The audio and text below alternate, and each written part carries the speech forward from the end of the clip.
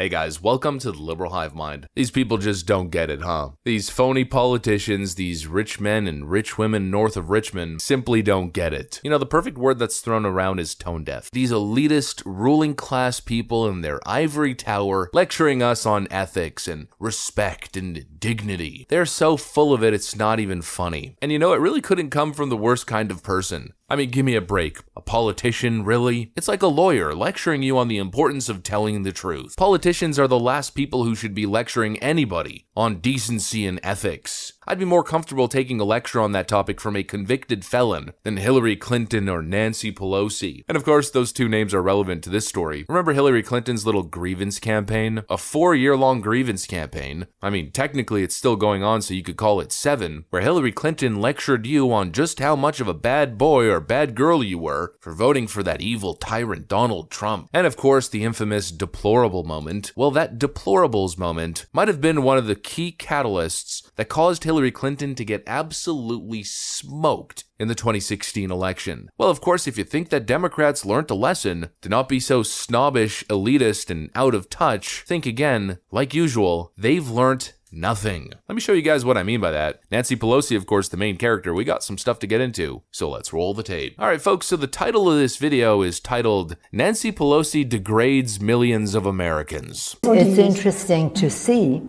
how there's a certain element of the population who will just go for him. They're people we would probably never get. They don't share our values in terms of respect for the dignity and worth of every person and the rest. Of course, she's speaking about Trump supporters. They're people that we would probably never get. Therefore, they're irrelevant. You know, and Donald Trump said this during the Tucker interview last week. I feel like he meant it. You have great people in the Democrat Party. You have great people that are Democrats. Most yeah. of the people in our country are fantastic, and I'm representing everybody. I'm not just Republicans or conservatives. Right. I represent everybody. I'm the president of everybody. You know, if you think about it, Donald Trump's policies weren't catered to particular groups. Maybe the Platinum Plan for Black America was something that he did during an election season, and of course, that was perceived to a certain extent as pandering. But for the most part, Donald Trump's policy platform was low taxes, get America running, keep America safe, keep America out of foreign wars, and secure the border. Pretty much that's messaging that targets everyone. Even though it seems divisive in today's political world, weird times that we live in, that's a message for everyone, not just Republicans. The Democrats don't view the electoral landscape in the same way. They want to appeal to snobby, elitist city slickers and pretty much give a massive middle finger to the rest of them. Yeah, you know those deplorables with their pickup trucks and American flags. Yeah, not our demographic. We'll leave those people to Trump. And of course, you see it in their actions, you see it in their policy. Sleepy, creepy, piss pants Biden has yet to visit East Palestine, Ohio. Is it in discussion that the president may go there in the near future? I just don't have anything to share. I know, I know there's a lot of interest uh, on that. Has it been something that's even under consideration? I mean, I think what folks should understand and what folks should, I think, feel at ease is that the president has taken this very seriously. Does it simply not meet the bar for a presidential visit? Look, I don't. I, I, it's.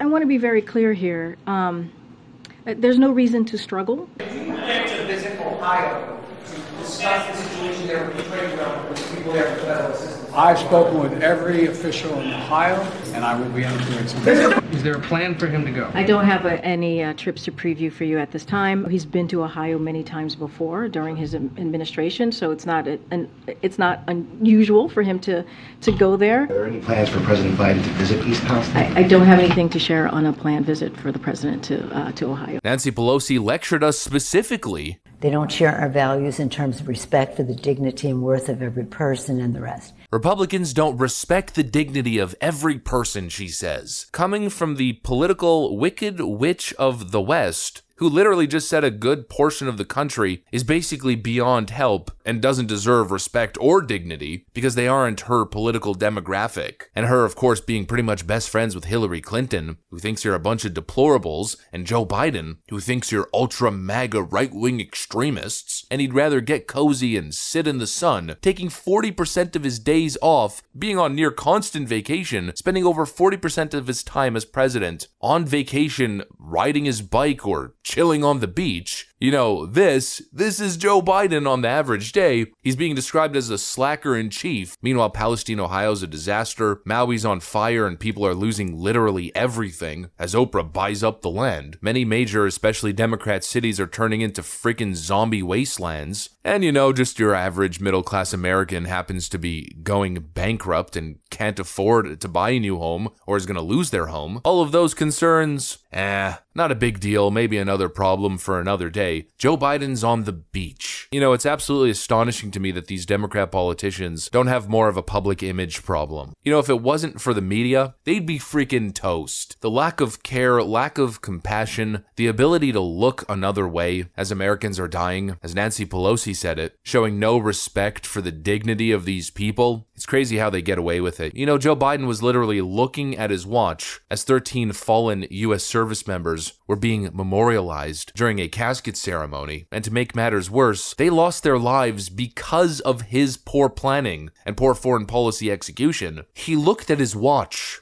Sergeant uh, Nicole Gee, who was the, one of the two female Marines who were killed among the 13, she was the one who posted that Instagram post holding the baby saying, I love my job just a few days ago. And then Democrats are going to lecture us on respecting people and giving them dignity. Yeah, give me a break. These slimy politicians are simply masters of deception. Oh, we care so much. You don't care at all. You cared for black people when George Floyd died because you knew that you could use it in an election season. Where are you on inner city issues over the last three years since that incident? I know the founders of BLM did great, and I know ActBlue donations were probably breaking records. But where are the results? Where's the actual care? Where's the everyday presence? In those communities. It's not there. I know you people love to virtue signal about migrants, but of course these Democrats turn a blind eye to the legal immigrants who are getting shafted in this broken system, or to the millions of people who are being seduced by false promises of amnesty, only to get shafted and deported after going in debt to pay coyotes or spending their life savings on a clearly hopeless endeavor of entering the United States, where's your compassion and respect and affirmation of those people's dignity? Doesn't exist. Democrats simply use lives, use sensitive topics for their own benefit. They pretend to be good people, and I'm sure they believe it when they're schmoozing at fancy freaking $10,000 plate galas. Oh, the poor people. I love poor people. As you sip on your Chardonnay. But when it really matters, when push comes to shove, these people are nowhere. Nowhere to be found. Missing in action. And apparently, anybody who thinks this way, anybody who sees the reality for what it is and would never vote for them, well, apparently you're just a lost soul. You're not politically worthy of even lifting a finger for, says Nancy Pelosi. Holy moly. These people are awful. The rich men and rich women north of Richmond. That's what I got for you guys. Hopefully you enjoyed the video. If you did, make sure to leave a like and possibly subscribe to the channel. You know that we'd love to have you here. Thanks for watching, and I'll see you on the next one.